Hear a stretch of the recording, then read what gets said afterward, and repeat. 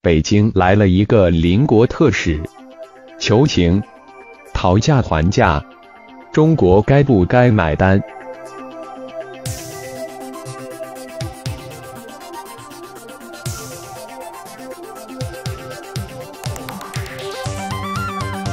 一关键时刻，一位八十岁高龄的邻国特使来到了北京，而且带来了该国最高实权人物的一封信，并很快与副国级的王毅举行了会谈。随后，他还将信直接转呈给了李总理。新华社播发的图片显示，总理当场展开阅读。非同寻常的人物，非同寻常的会见。因为这个特使来自不久前政坛突然变天的马来西亚。九十三岁的马哈蒂尔再次出任马来西亚总理，但中马关系也马上面临波折。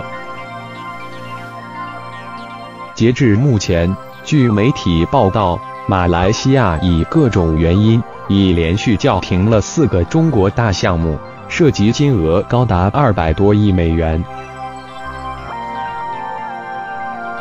其中就包括东海岸铁路项目，投资五百五十亿马币，约人民币八百八十三亿元，中方提供贷款，中国交建承建，这也是马来西亚最大的在建项目。停工。意味着先期投资可能打水漂，这关系到中国企业在马来西亚的重大利益，也关系到中国投资对马来西亚的信心。于是，马哈蒂尔派出了八十岁的老朋友达因到访中国，他的身份是马来西亚总理特使、元老理事会牵头人。这个元老理事会是马哈蒂尔搞的最高顾问组织，成员五个人，除了前财政部长达因外，还有中国人比较熟悉的马来西亚首富郭鹤年。相信郭鹤年也一并来到了中国，挽救处于十字路口的中马关系。一些细节很意味深长。按照新华社的报道，达因这样对总理说：“马中两国是好朋友、好伙伴。”马哈蒂尔总理高度重视对华关系，愿继续同中国密切合作，推动马中关系健康稳定发展。不论两国关系在发展过程中出现任何问题，马中双方都可以找到解决问题的办法。不论两国关系在发展中出现任何问题，隐含的意思则是中马关系确实出现了某种问题。在和王毅的会谈中，按照新华社的报道，王毅这样说。中马关系有助长期友好的积累，不仅是全面战略伙伴，也是务实合作的伙伴，经得起任何风云变幻的考验。经得起风云变幻的考验，但隐含的意思，现在就面临考验，而且确实是风云变幻。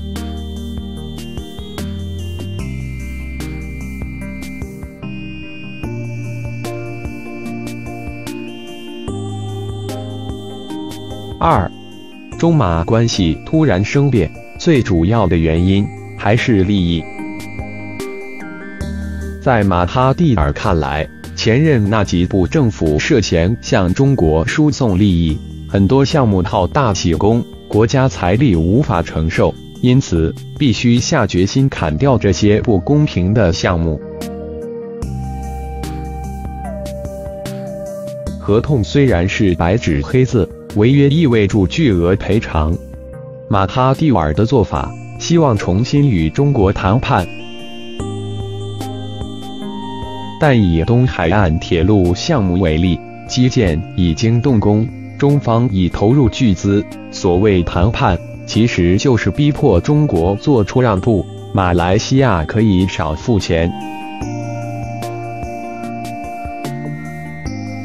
这对中国来说意味着重大损失，更让担心的，则是这种示范效应给马来西亚开了口子，其他国家也这样来操作，怎么办？在国际上，包括 CNN 在内的西方媒体，则将马来西亚的举动视作遏制中国影响力的信号。当然。马来西亚也不敢轻举妄动，如果迫使中国撤资，马来西亚经济也将面临重大挑战。要知道，中国是马来西亚最大的贸易伙伴和外国直接投资 （FDI） 最大的来源国，而且在地缘政治上，中国也不是一个普通的邻国。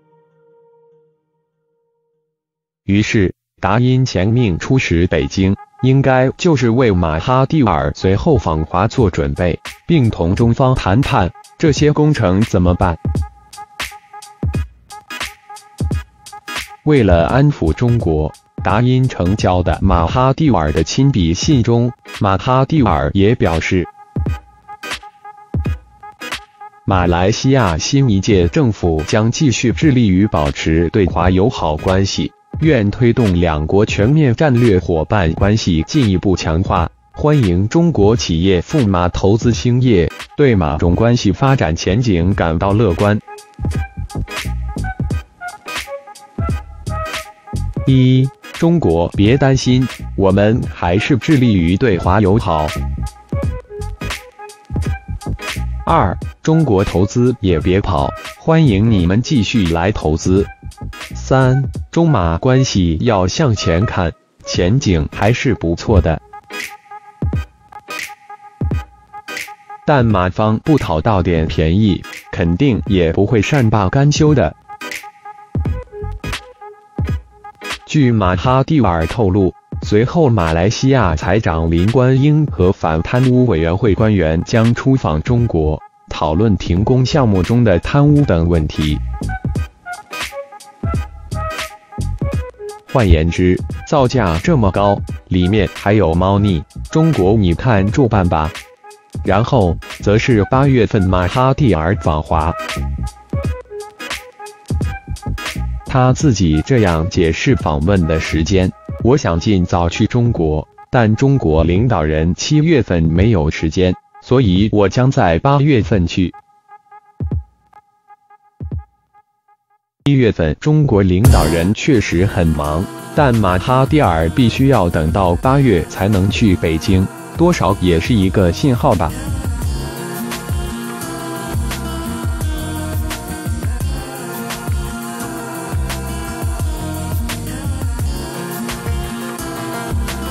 三，一场大博弈正在举行，牛弹琴，Bill Piano，几点粗浅的看法吧。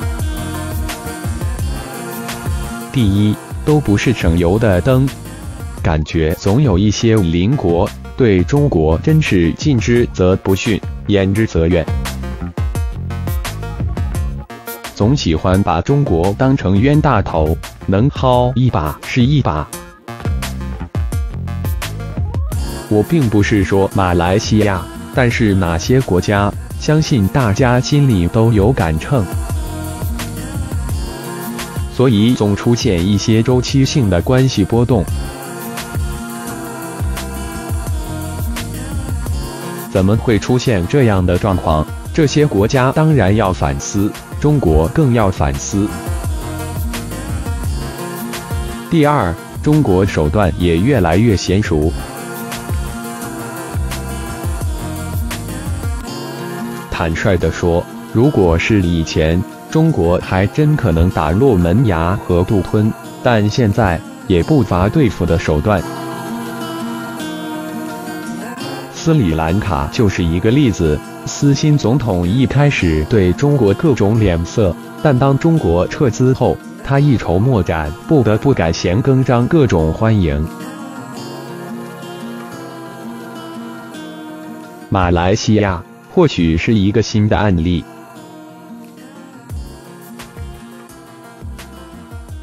所以马哈蒂尔派出了老资格的达因和郭鹤年等来中国试探口风。第三，中国更必须小心谨慎。马来西亚是一个有风向标意义的国家，与美国和日本交好，但中马关系也不错。当年的海上丝绸之路倡议虽然在印尼提出，但最先积极响应的是马来西亚。南海问题上，马是周边最低调的一个。中国不是慈善大国，再不能对外太慷慨了，但也需要稳住马来西亚，将马推向美国和日本，肯定更是下下之策。八十岁的马来西亚特使来后。九十三岁的马哈蒂尔下个月就要来北京了，一场更激烈的讨价还价正在进行中。中国该慷慨时要慷慨，但该捂紧钱包时还没捂紧啊！毕竟地主家的余粮也不多了。就在昨天。印尼国防部长里亚米扎尔德再次表示，在现阶段南海局势下，寻求和平的努力已经成为印尼国防外交的一部分。这并不是印尼防长第一次做出如此表态，早在今年一月份。美国国防部长马蒂斯在其东南亚之行中称，美国愿助印尼在南中国海、北纳土纳群岛海域维持海上安全。与之相对应的是，美国太平洋司令部司令哈里斯在印度瑞辛纳对话上称，中国是地区的一支破坏性力量，妄议中国在南海的岛礁设施。这二位一唱一和意图很明显，即借中美争端制造南海的紧张局势，放大对中国的抹黑和攻击，强化中国周边国家中国威胁的心态，最终达到增强美国存在的目的。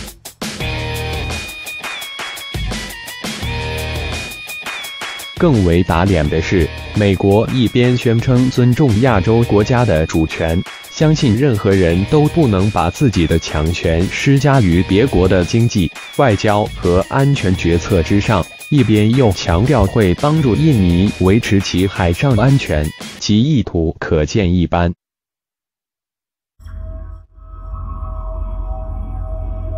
对此，这位印尼防长当时就表示，言下之意便是不希望破坏南海的总体形势。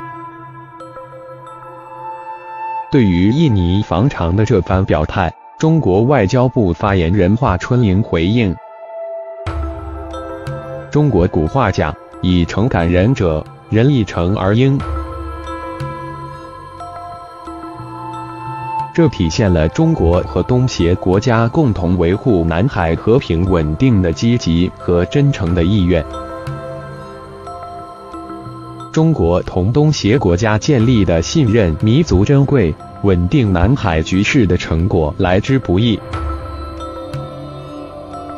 中方愿继续与有关各方一道，以全面、有效落实南海各方行为宣言精神为指引，积极推进南海行为准则磋商和海上务实合作，共同致力于维护南海地区和平稳定与繁荣发展。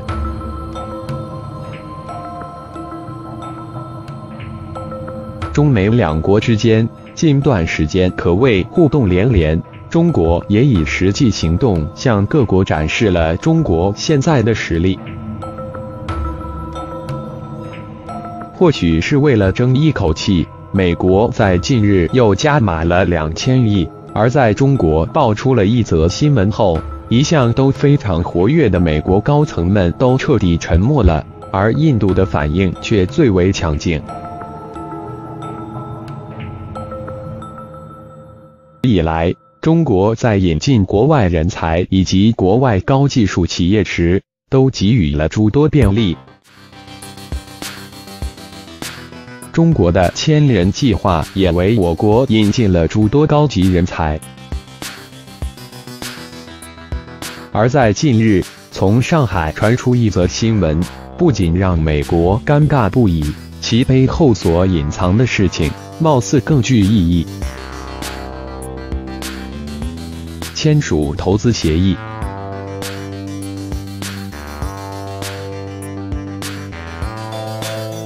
据媒体七月十日的报道称，特斯拉公司 Tesla 与上海临港管委会、临港集团共同签署了纯电动车项目投资协议，将在临港地区独资建设及研发、制造、销售等功能于一体的特斯拉超级工厂，而这也将成为上海有史以来最大的外资制造业项目。而这距离马斯克对中国允许其在华建厂的感谢，才刚过去一个多月，足见双方在这一项目的合作诚意。不过，特斯拉此举也在美国国内引发热议，各国网友也对此展现出了不同的看法，甚至有人表示，美国总统虽然希望的是美国再次伟大，但从一系列事情来看。他是中国再次伟大背后最大的推手。